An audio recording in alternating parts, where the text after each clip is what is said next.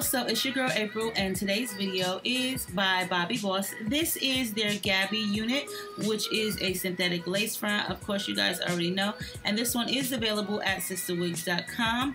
The color that I have is a TT4 270, and the unit has a right curved part. Along with that, there are some combs in the front by the temple, an adjustable strap, and a comb in the nape area as well.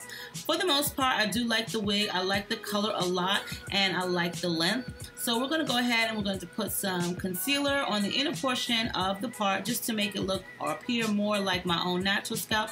Along with that, I'm also going to place some on the outer portion and kind of like a little bit of pressed powder powder. So what you guys see me here putting on is my wig grip band. Um, I do like it somewhat, only for certain wigs. I really don't wear it for all wigs because it kind of makes your hair look a little bit lumpy or your wig a little bit lumpy. So I don't wear it a lot.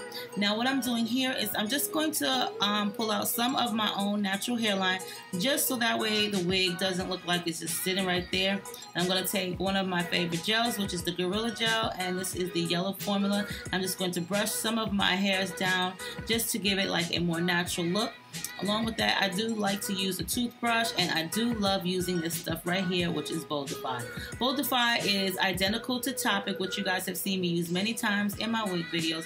And what that is, is just a hair filler fiber. So if you have thin edges, thin hair, balding hair, um, Boldify, Toppik, whatever filler fiber you're using, they all give you that illusion that you have thicker hair. They're just like tiny little hair particles and it's dry and I love this stuff. So Boldify is more product, double the product, and like half the price of Toppik. So you can definitely check them out. Hopefully I'll remember to post their information below for you guys. And as well as that, as I will also leave a coupon code below for you guys, which is 10% off at sistawigs.com. If you use the code MUFFIN at time of checkout, make sure that you're registered and logged in to use that coupon code. So, what do you guys think about this hair? Like, I like it. It's a nice length. It's not too long. It's not too short. You guys know I'm always complaining about, oh, I really don't like it short and so forth, blah, blah, blah. But I kind of do like this one. I love loose wave hair. You guys know I love loose wave hair.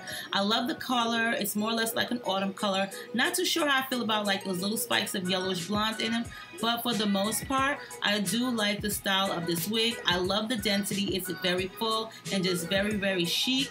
Kind of like basic with a little bit of chic or flair to it. So that way, you know, you can wear this out. So I hope you guys enjoyed this video. Stay diva and divalicious. Make sure you rate, comment, subscribe, and I'll see you guys on a soon to come video. Bye.